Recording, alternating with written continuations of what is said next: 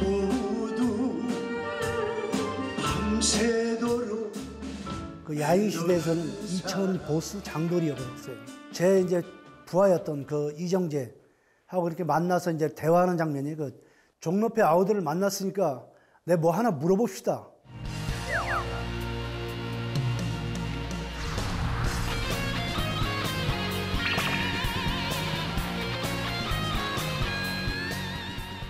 정이 많고 따뜻하고 착하고 의리도 있고 아 정말 최선을 다하는 모습 보면서 항상 제가 존경하는 가수고요.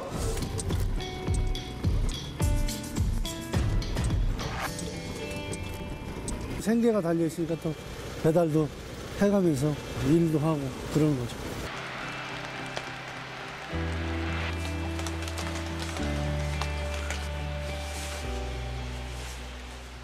다시 일어설 수 없을 정도로 그렇게 됐으니까 뭐 파산 신청까지 했죠. 어느 정도나 보셨어요? 뭐한 3억 정도는 손해 봤죠.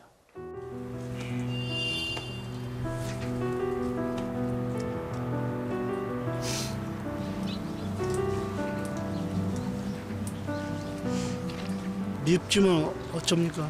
그래도 아버지인데 뭐 저뿐이 아니고 저희 형제들이 다 무서워했어요 아버지를.